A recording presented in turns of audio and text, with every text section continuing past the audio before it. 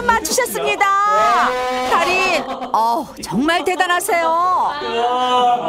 이게 이게 좀 어려웠어요. 어. 이게 제일 어렵네요. 어. 이거 끓여야 좀 향이 나는 거지. 이렇게 멀리서 그 감초 향까지 나긴 좀 어렵거든요. 오. 이거는 맛이 강한 거죠. 그러니까 제가 별명이 개코 맞아요.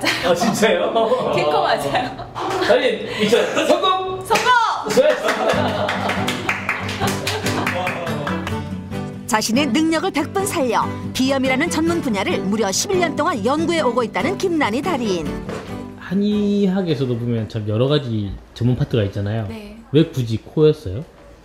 저는 제가 어렸을 때 비염이 있었기도 하고요. 네. 워낙 어렸을 때부터 엄마랑 아빠랑 결혼하게 된 애들은 다 궁금하잖아요. 엄마는 아빠 어떻게 만났어? 그런 거 네네. 물어보면 항상 저희 엄마는 축농증 때문에 만났다고 하는데 그걸 계기로 만났다는 게 되게 웃기잖아요.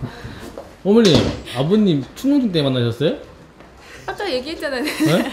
예, 코가요 풀어도 풀어도 계속 나와요. 그거를 이제 얘 아빠 만났으면 이제 빼버리니까 와 진짜 이런 세상이 있구나. 이렇게 코를 빼주셔서 바- 반하신 거예요?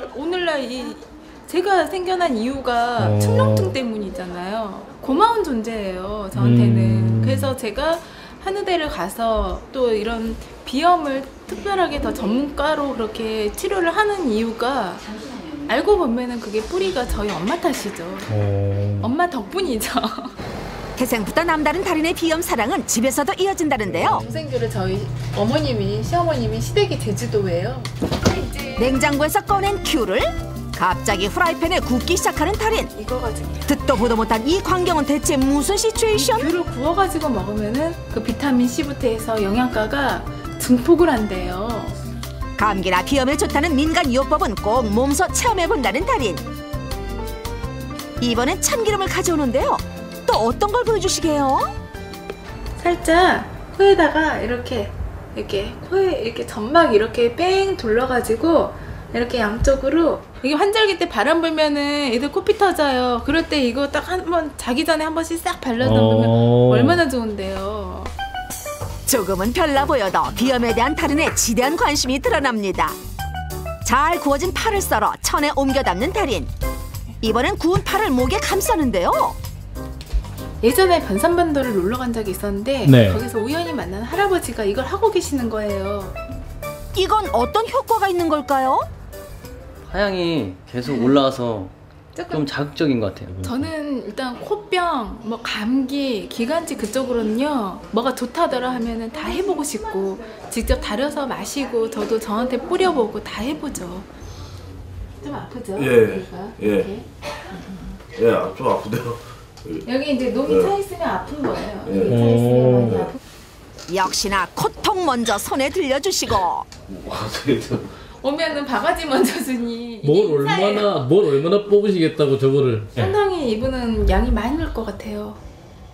양도 가능이 되세요? 근데 어느 정도는 예측 가능해요. 그럼 이분 얼마나 나오실 것 같은데? 한 20g에서 한 플러스 마이너스 1, 2g 정도? 과연 달인의 예측이 맞을까요? 혹시 궁금하지 않으세요? 한 번에 나오는 양이 얼마나 되는지? 코 뭐 조금 하니까 한 1, 2g? 1, 2g? 예. 일단 먼저 코를 풀어 최대한 콧물을 빼내는 이분. 시원하게 코를 풀고도 더 나올 콧농의 양이 얼마나 될지 자 약솜 들어갑니다. 고개 들어서 천천히 다섯 개 세고 내리실게요. 약솜을 넣은 후 20분 동안 흘린 콧물의 양을 측정해 보기로 했는데요. 재채기 한 방과 함께 시원하게 쏟아지기 시작하는 콧농. 역시나 꽤 많은 양이 끝도 없이 나옵니다. 과연 그 양은 얼마나 될까요? 20g 넘었네? 정확히 20.44g. 20g 넘었습니다. 지금 방금 뺀 게. 코스에 이만큼이 들어있다, 저기. 보는 저희도 신기해요. 단연간의 오랫동안 경험에 의해서 나온 거니까 이건 뭐 어떻게 이론적으로 뭐 눌러봤을 때 뭐 몇 cc가 들어가니까 몇 어. g이 나와요. 그렇게는 설명이 설명할 수가 없어요. 콧농을 빼기 전 꺼내야죠. 끄라는 촛불은 안 끄고 이렇게 애먼 콧물만 튀겼던 그가 무려 20g의 콧물을 빼낸 후 이렇게 달라졌습니다. 일자로. 내친김에 촛불 세 개 끄기에 도전!